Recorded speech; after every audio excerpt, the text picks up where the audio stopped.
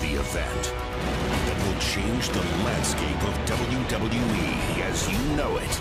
There will be unique superstars for both Raw and SmackDown.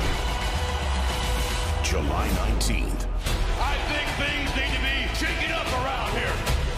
the WWE Draft. When SmackDown moves to Tuesday nights, live. July 19th, only on USA.